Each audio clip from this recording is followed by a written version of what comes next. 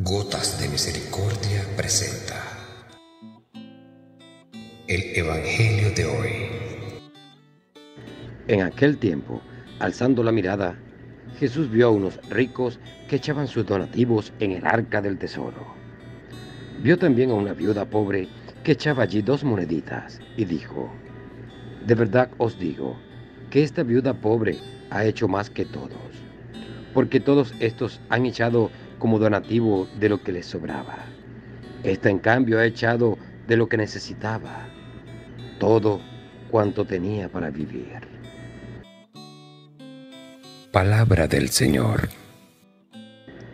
Hoy, como casi siempre, las cosas pequeñas pasan desapercibidas. Limosnas pequeñas, sacrificios pequeños, oraciones pequeñas, jaculatorias. Pero lo que aparece como pequeño y sin importancia muchas veces constituye la urdimbre y también el acabado de las obras maestras, tanto de las grandes obras de artes como de la obra máxima de la santidad personal. Por el hecho de pasar desapercibidas estas cosas pequeñas, su actitud de intención está garantizada. No buscamos con ellas el reconocimiento de los demás ni la gloria humana. Solo Dios las descubrirá en nuestro corazón, como solo Jesús se percató de la generosidad de la viuda. Es más que seguro que la pobre mujer no hizo anunciar su gesto con un toque de trompetas y hasta es posible que pasara bastante vergüenza y se sintiera ridícula ante la mirada de los ricos que echaban grandes donativos en el cepillo del templo y hacían alarde de ello. Sin embargo, su generosidad, que le llevó a sacar fuerza de flaqueza en medio de su indigencia, mereció el elogio del Señor, que ve el corazón de las personas. De verdad os digo que esta viuda pobre ha echado más que todos, porque todos estos han echado como donativo de lo que les sobraba. Esta, en cambio, ha echado de lo que necesitaba, todo cuanto tenía para vivir.